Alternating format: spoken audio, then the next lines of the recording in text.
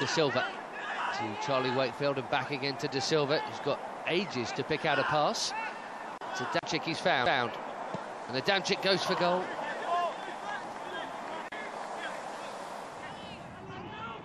Ali Suljic stepping up, misplacing the pass though. Owens has pinched in. Duncan to Edwards. And now Sterling. Was he brought down? He was. Referee says penalty. Dujon Sterling fouling Kaziah Sterling.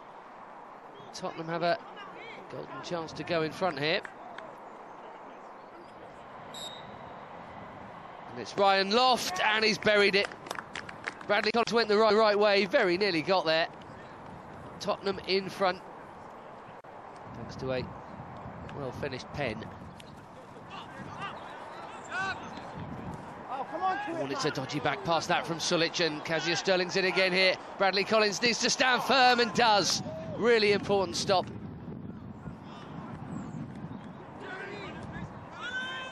Boga, the substitute. Going to Adamczyk, who's taking on Paul and he's beaten him. Adamczyk pulls it back. Oh, what a chance. And it's gone over from Ruben Sammut. It's Boga to take it. Oh, it's brilliant. Typical Boga. How many times have we seen him do that this season?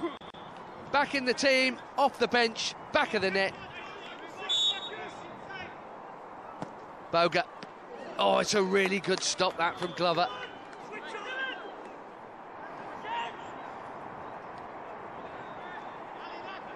Paul losing out. Ruben Sammut driving forward here. The Chelsea is Ugbo. The chance and a goal. Ike Ugbo's done it. And Chelsea have turned it round. From 1 0 down to 2 1 up. And Ike Ugbo has another goal. Nice little warm up this for the Youth Cup, even if it is a very different looking side. Boga might be involved though. Here he goes again into Ugbo. And the curler is a beauty from Mason Mount. Glover's done well to keep it out.